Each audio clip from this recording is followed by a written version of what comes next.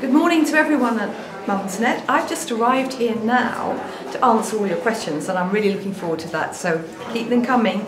I've also been asked to give you the winners of your wonderful cake decorating competition and here are the lucky ones. I've seen the pictures of the cakes too. They're absolutely brilliant.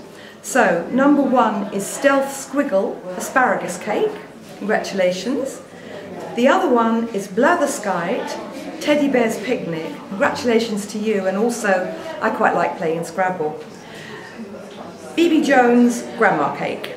So there, the three winners. Congratulations to you all and I wish I could decorate cakes like that myself, but I can't.